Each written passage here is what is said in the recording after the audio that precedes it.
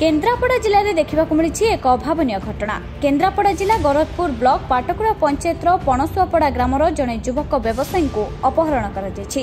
ଯୁବକ ଜଣକ ହେଉଛନ୍ତି ରଶ୍ମି ରଞ୍ଜନ ମହାନ୍ତି ଏବଂ ତାଙ୍କ ବୟସ ପଇଁଚାଳିଶ ବର୍ଷ। ସେ ଗତ ଅଠର ତାରିଖ ଦିନ ଘରୁ ଦୁଇ ଲକ୍ଷ ଟଙ୍କା ନେଇ ମାଲ କିଣିବାକୁ ଯାଇଥିଲେ। ସେ ମସଲା ଏବଂ ତେଲ ବ୍ୟବସାୟ କରନ୍ତି କିନ୍ତୁ ବିଡ଼ମ୍ବନାର ବିଷୟ ସେ ଚାରିଦିନ ହେବ ନିଖୋଜ ହୋଇଥିଲେ ବି ଏପର୍ଯ୍ୟନ୍ତ ତାଙ୍କର କୌଣସି ସନ୍ଧାନ ମିଳିପାରିନାହିଁ। ତାଙ୍କ ସ୍ତ୍ରୀ ଶୋଭାରାଣୀ ମହାନ୍ତି ପାଟକୁରା ଥାନାରେ ଲିଖିତ ଅଭିଯୋଗ କରିଥିଲେ ବି ଏପର୍ଯ୍ୟନ୍ତ କୌଣସି ଫଳ ମିଳିପାରିନାହିଁ ତାଙ୍କ ସ୍ତ୍ରୀ ବାପା ଓ ପଡ଼ୋଶୀମାନେ ପ୍ରତିକ୍ରିୟା ରଖିଛନ୍ତି କି ପୋଲିସ ପ୍ରଶାସନ ଓ ସାମାଜିକ ଗଣମାଧ୍ୟମ ଯଥାଶୀଘ୍ର ସହଯୋଗ କରି ତାଙ୍କ ପୁଅକୁ ଫେରାଇ ଦେବାକୁ ସେ ନିବେଦନ କରିଛନ୍ତି ମଧ୍ୟ। ତାଙ୍କ ପୁଅକୁ ବା ରଶ୍ମିରଞ୍ଜନକୁ କେହି ଅପହରଣ କରିଥାଇପାରନ୍ତି ବୋଲି ସେ ଆଶାବ୍ୟକ୍ତ କରିଛନ୍ତି। ପୁଅ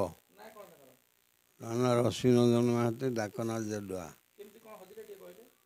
ଏ ଘରେ ଚାଷ ଫାସ କରେ ଆଉ ବେପାର କରୁଥିଲା ଆଉ ସଫଳ ବେପାର। ଆଉ ସେଦିନ କଲେକ୍ସନ୍ ଥିଲା ନେଇ ପଇସା ଦେବ ମାଲ ଆଣିବ ଦୁଇ ଲକ୍ଷ ଖଣ୍ଡ ଟଙ୍କା ନେଇ ଯାଇଥିଲା। ଆଉ ଏଗାରଟା ଯାକେ ବୁଧବାର ଦିନ ସୁଇଚରେ କଥାବାର୍ତ୍ତା ହେଲା। ଏଗାରଟା ପରେ ଆଉ ସୁଇଚ୍ ବନ୍ଦ ହେଇଗଲା ଆଉ ମୋବାଇଲ ଆଉ ଝିଅକୁ ଆଉ। ପୋଲିସକୁ କୋଉ ନୋଟିସ୍ ଦେଲେ